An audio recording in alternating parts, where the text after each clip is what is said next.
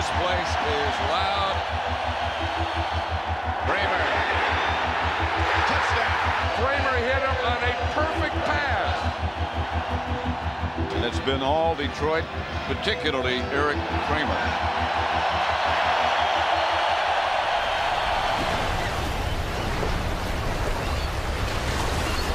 I don't think anybody really gave you much of a chance. Probably not. I mean, you could feel obviously in the stadium this was a big day. Who would have thought that he would have this kind of day in a playoff game?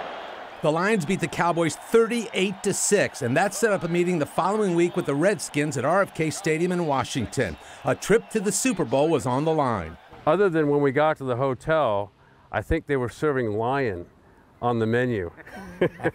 As I think back on the very first series, I'm rolling over to the left, a little half roll, and as I set up, I come back, and before I can even turn around, Charles Mann hit me, and the ball pops out, fumble, pick up, touchdown, 7 nothing. Good start.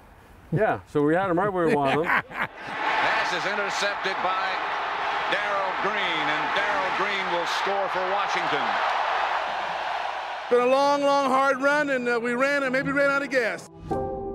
After several productive years with the Lions, Kramer signed a free agent deal with the Chicago Bears. But after several years there, his career came to an end because of a neck injury. He worked in TV as an analyst for a while, but what he didn't know was his life was about to spiral out of control due to a series of events. Your mom died, mm-hmm. your dad died, Yep, your son Griffin died of a heroin overdose. right. You got divorced. I'm just Yeah, the overall depression. Um, that's a real thing, man. And um, uh, it, it kind of zaps you of any will to do anything. There's no such thing as fighting it. There's nothing to fight. It's just sort of a fog that en- engulfs you. Those moments, along with chronic depression, would make any healthy, well adjusted human question why. Why is this happening to me? Kramer had two sons, Griffin and Dylan, who was five years younger. Kramer points to October 30th, 2011, as the day the spiral began. His 18 year old son, Griffin, died tragically of a heroin overdose. And it's apparent from listening to Kramer, Griffin could still be alive today. And when Griffin had this initial reaction of, you know, just back and foaming at the mouth, uh, this kid started driving around and wondering what to do and calling people, what should I do? And everyone he talked to was like, you take him to the hospital. Well, he didn't. And he took him to his house. And he would have had to drag Griffin out of the car into his room and left him. And then apparently later left to go back to a party.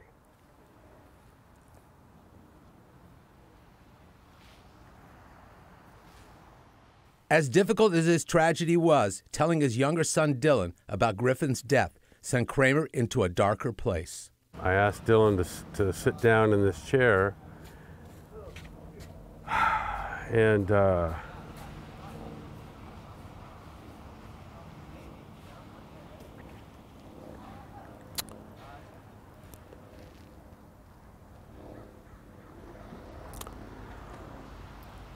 um, I don't remember the words, but in some way explained to him that Griffin had just passed away. And uh,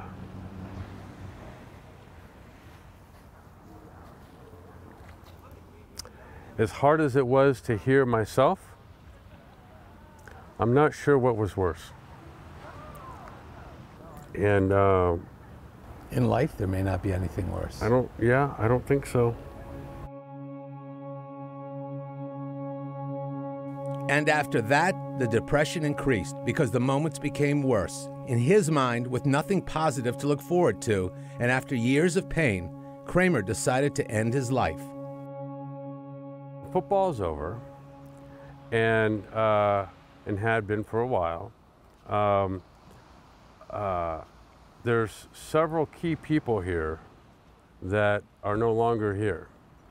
So the feeling was that they're going that way, No one's coming that way. And uh, so that was that was kind of the I think what got me down that road. On August 18th, 2015, Erik Kramer checked into the Good Nite Inn in Calabasas, California. He brought a 9mm handgun with him, which he had bought at a gun shop. The next day, the moment arrived. What are the moments before you actually do it like? So I wish I could remember all of them, or maybe I don't. You remember driving to the hotel? I do. Do you remember walking into the hotel? No, it's like I wasn't there. And uh, I have no recollection of some things that actually did occur for a good stretch of time. Do you remember standing there with a gun I don't. and putting it under your chin? I no? You don't remember that? So that was just an automatic reflex to Yeah, I guess. I don't remember any. I don't when remember. did when did your mind go blank that you couldn't remember what's happening?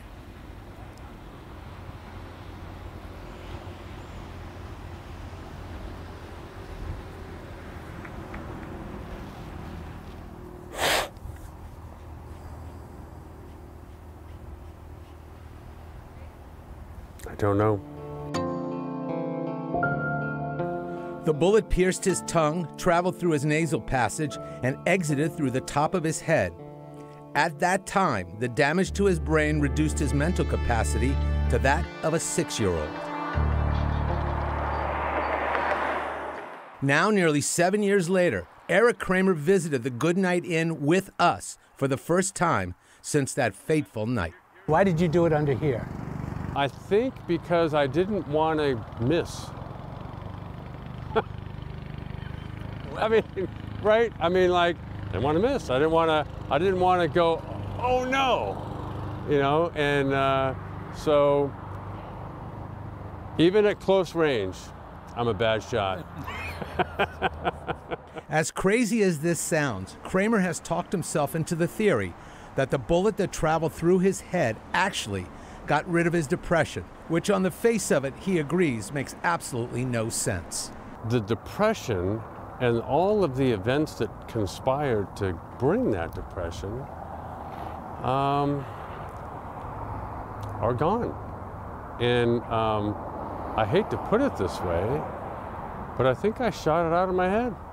I mean, I don't know how else to put it, but I haven't had a bad 15 seconds or a bad five minutes since I woke up. Cheers. The Erik Kramer everyone knew has returned. It took years of rehab, but his brain regenerated, and he says he's back to normal. Star in the making. Surgery helped with facial reconstruction. Today, Erik Kramer is once again Erik Kramer. I have no bad days. I was just going to say, people say, "Whoa, geez, today was a terrible day." Whoa, slow down. Have I got a story for you? Having spent three days with Kramer at his home in California last month, I'm left with the feeling that I've witnessed a true miracle. He overcame amazing odds and horrific tragedies to once again become a fully functioning member of society. Doctors would tell you that individuals who have a near death experience come out with a new appreciation for life. And one Dr. Kramer met during rehab left him with words that are still fresh in his mind today. I've been at this quite a while. I've seen people that have fallen out of airplanes, their parachutes not open up. I've seen brain aneurysm. I've seen. Because I quite honestly have never seen this before. And he goes, if I'm you, every week for the rest of my life, I go play the lotto. Because right now, look around you. There's no one as lucky as you. So I haven't taken his advice, but I have been very grateful every, every day. Pretty amazing. Local 4 wants you to know that if you or anyone you know are in a state of emotional distress, we urge you to reach out to the National Suicide Prevention Lifeline, 1 800 273 8255. They are available 24 hours a day, seven days a week. And a couple of quick notes on Erik Kramer, who's now 57 years old. He wants to be a football coach. While we were there, he got a call that he will be the quarterbacks coach at Camarillo High School in California in the fall. Also, he is starting a mentorship program for young kids, which will teach them kindness and compassion. His hope is to eliminate bullying.